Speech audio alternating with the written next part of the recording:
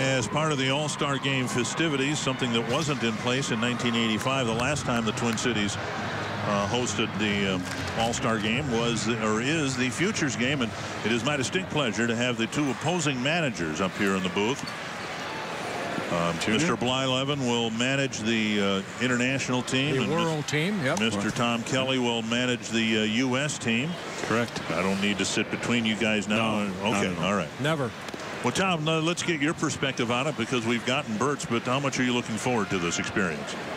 Well, I, I really think it's an honor, first of all, to be part of any All-Star game. And Bert's pointed this out oh, numerous times here the last uh, few weeks about uh, being a player.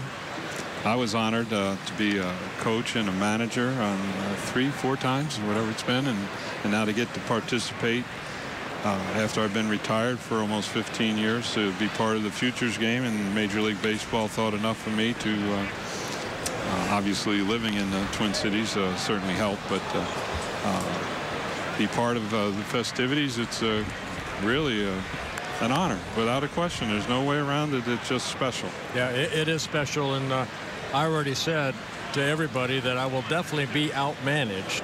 I don't uh, know about that. Uh, but I, I, like what you said when I, when I did ask you about it. Yeah. You know, just said, you know, let's just stay in the background, let the let the kids play, sure. and hopefully nobody gets hurt. Yeah, that's the big thing, yeah. Bert. I don't want to send anybody back to their team or manager and say that they're well, it looks like you better keep an eye on him or something like that. You know, you don't want that to happen. I got to ask you because, so, uh, you know, with all these shifts going on, yeah, will there be any shifts going on? We are just talking about game? that. We are just up there, Roy and uh, uh, Vanessa, or you just uh, mentioned of shifting, and and uh, I'm one for the pitcher throwing the ball over the plate and the hitter getting a chance to swing and the players getting a chance to field. So unless uh, somebody that we really know, and I don't think we know the players that well, so we're we're at a disadvantage that well, way. I, I but we're just going to let them play. I, I, do a lot of homework, TK, and I've been scouting your team, and I'm seeing who the pull hitters are and who the punch and Judies will be, but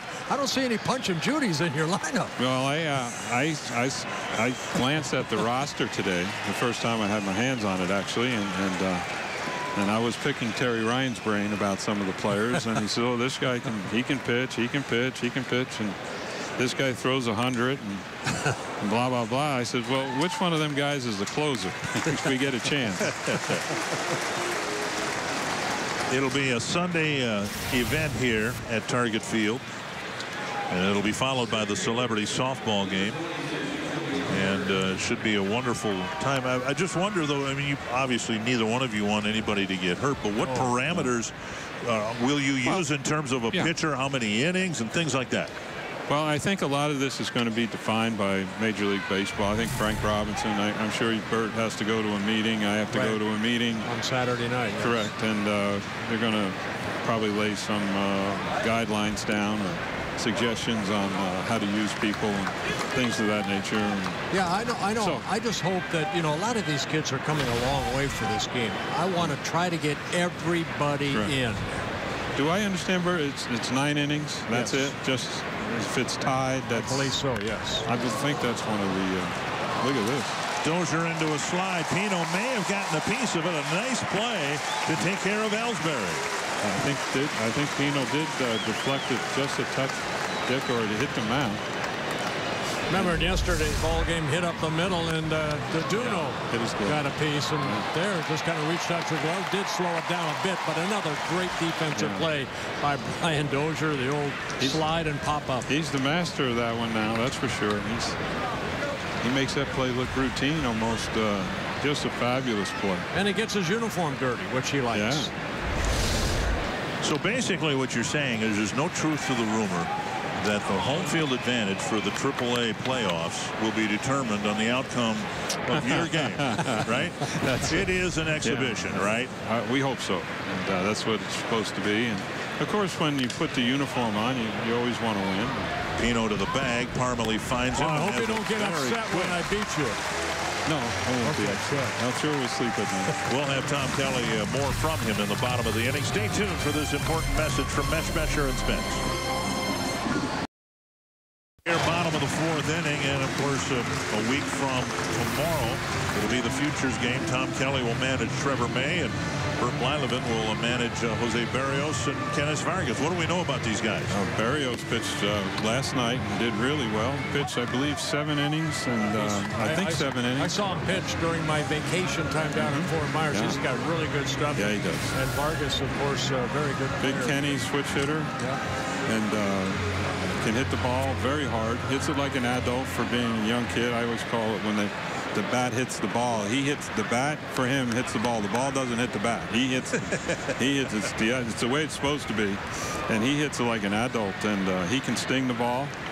And uh, can hit it a long way, and, and uh, he does very well at first. And Yeah, both he- my players from Puerto Rico too, and it's nice to see Puerto Rico.